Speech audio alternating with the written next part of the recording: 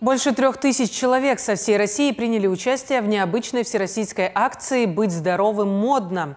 Ее суть заключалась в том, чтобы жители разных городов одновременно облились холодной водой.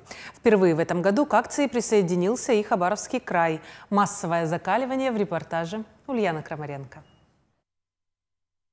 На стадионе юности установили 72 ведра с холодной, с очень холодной водой. Совсем скоро эти ведра будут опрокидывать на себя хабаровчане. Это акция «Быть здоровым модным». И впервые в Хабаровском крае пройдет самое массовое закаливание. Пока вода в ведрах продолжает остывать, участники акции в тепле готовятся к обливанию. Переодеваются и проходят инструктаж. Всероссийский фестиваль массового закаливания проводится с 2014 года года. В этом году к ней присоединились 18 регионов, среди которых впервые и Хабаровский край.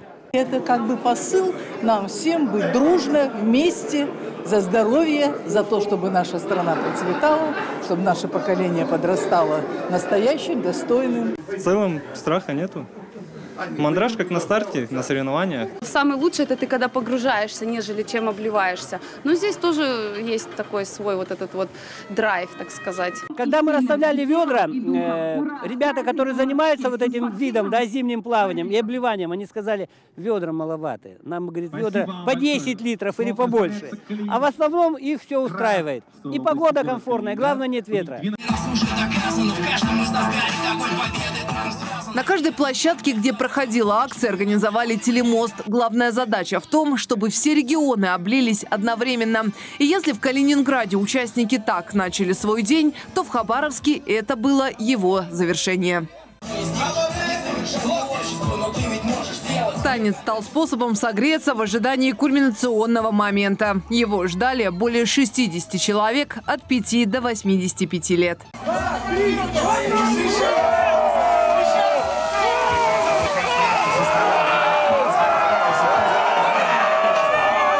Ой, прекрасно, чудесно, вот! Вода горячая, ощущение с любовью. Я чай пью холоднее, реально. Решено, что такое массовое обливание станет традиционным и для Хабаровского края. Организаторы надеются, что вслед за краевым центром к акции присоединятся и другие города региона. Ульяна Крамаренко, Андрей Авдеев, телеканал «Губерния».